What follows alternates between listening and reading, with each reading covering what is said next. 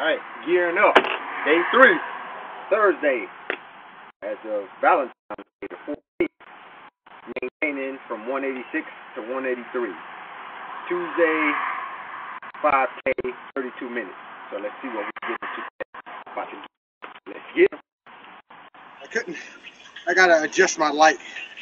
This is not coming off for me to give you exact. It says finish workout, but I don't know the time. So I'll check back in maybe later or tomorrow with the official time. Peace.